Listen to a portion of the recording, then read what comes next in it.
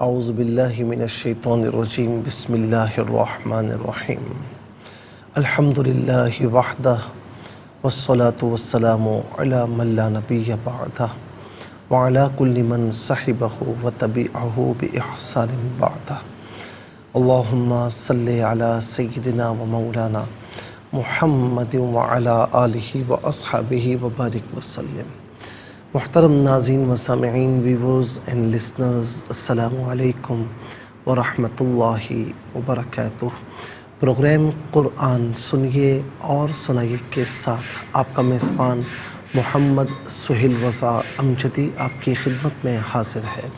ناظرین و سامعین، آپ جانتے ہیں کہ ہم پروگرام کا آغاز قرآن کی بات سے کیا کرتے ہیں۔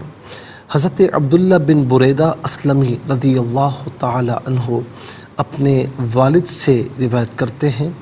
وہ کہتے ہیں کہ حضور نبی کریم صلی اللہ تعالی علیہ وسلم نے فرمایا کہ من قرأ القرآن و تعلم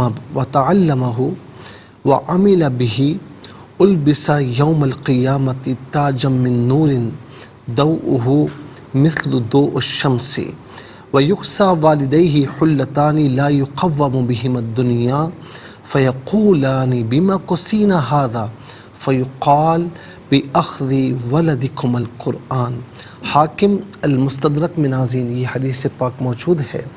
فرمایا کہ جس نے قرآن پڑھا اور پھر قرآن کو سیکھا یعنی قرآن کے علم کو حاصل کیا پھر اس پر عمل پیرا بھی ہوا۔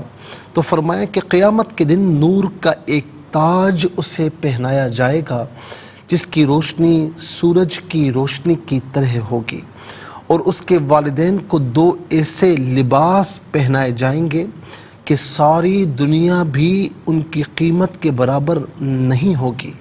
تو وہ عرض کریں گے کہ ہمیں یہ لباس کس وجہ سے پہنایا گیا؟ تو انہیں جواب دیا جائے گا، اس لیے کہ تمہارے بیٹے نے قرآن پڑھا اور اس پر عمل کیا تھا۔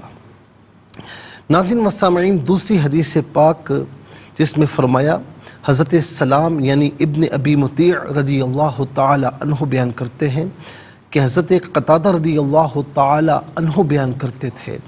یہ روایت ہے عمرو بہی قلوبکم وعمرو بہی بیوتکم فقال اراہ یعنی القرآن یعنی قرآن کے ذریعے اپنے دلوں کو اور اپنے گھروں کو آباد رکھا کرو۔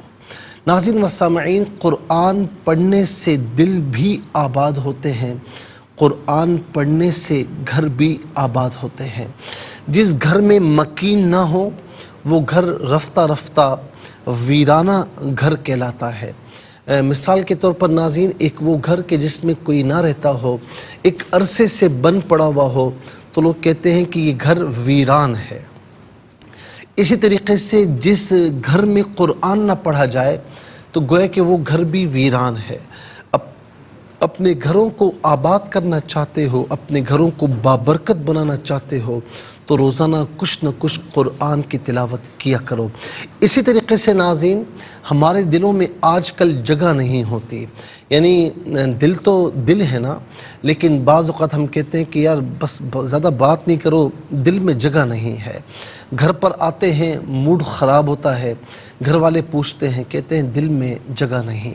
ناظرین و سامعین، اگر ہم چاہتے ہیں کہ ہمارا دل خوش رہے، آباد رہے، ظاہر ہے کہ آباد رہے گا تو خوش ہوگا نا۔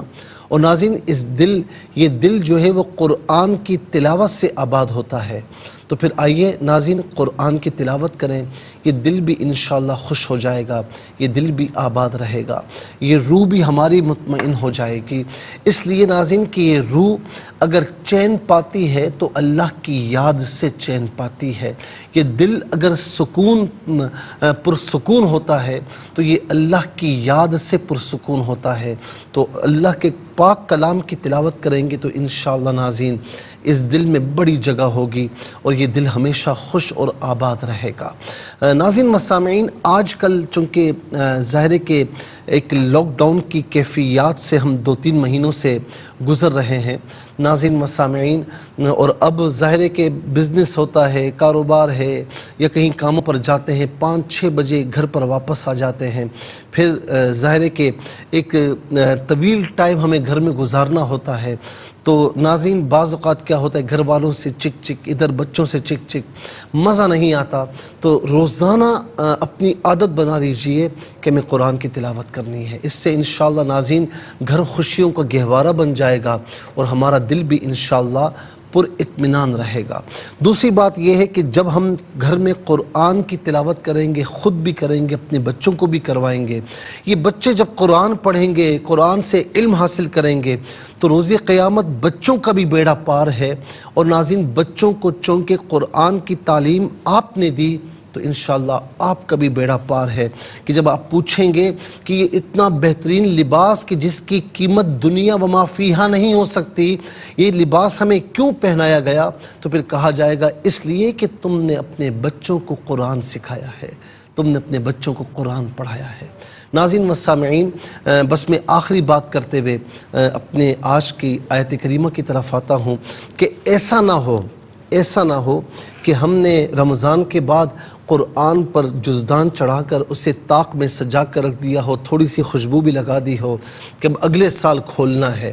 تو ایک کافر جب کسی مسلمان کے پاس آیا تو اس نے کئی سوالات کیے اور مسلمان جواب دیتا رہا۔ تو اس میں ایک سوال یہ بھی تھا کہ مسلمان کہتا ہے کہ اس غیر مسلم نے مجھے کہا کہ میری الماری میں گرد سے اٹی کتاب کا جو اس نے پوچھا، میری الماری میں گرد سے اٹی کتاب کا جو اس نے پوچھا، شرم سے زمین میں گڑ گیا قرآن کہتے کہتے قرآن کس منہ سے کہوں کہ گرد سے اٹی کتاب ہے، جزدان پر مٹی جمی ہے، میں کس منہ سے کہوں یہ قرآن ہے؟ ناظرین و سامعین، ایسا نہ ہو۔ ناظرین ہمیں چاہیے کہ ہم اگر برکتیں چاہتے ہیں، ہم رحمتیں چاہتے ہیں، اپنے گھروں کو خوشیوں کا گہوارہ بنانا چاہتے ہیں، دنیا اور آخرت میں اللہ سے قرب چاہتے ہیں، تو پھر آئیں قرآن سے تو قرآن سے وابستہ ہو جائیں۔ اس کے دامن کرم سے اپنے آپ کو جوڑ لیں۔ انشاءاللہ دو جہاں میں کامیابی ہمارے قدم چومے گی۔